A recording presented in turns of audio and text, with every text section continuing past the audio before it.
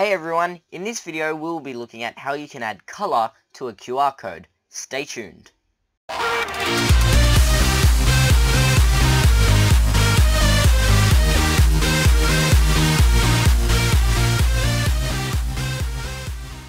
Alright, to begin with, go to qrcode.cx. Now yes, there are a number of QR code generation websites out there, but this is by far my favorite and I strongly recommend you use it.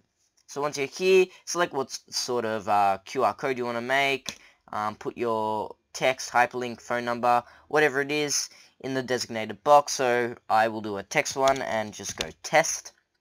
Uh, you can see a preview of your QR code down here and then using this color box over here, you can change the color. So I'm going to go for a purple, like so.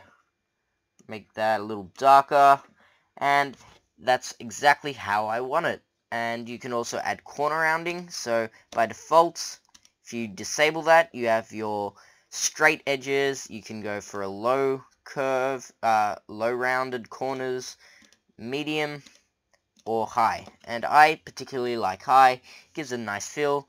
And then once you're done with that, highlight save, and then just click save as PNG, right click, save image as, and then you can go ahead and save that like normal. So that's how easy it is to add color to a QR code.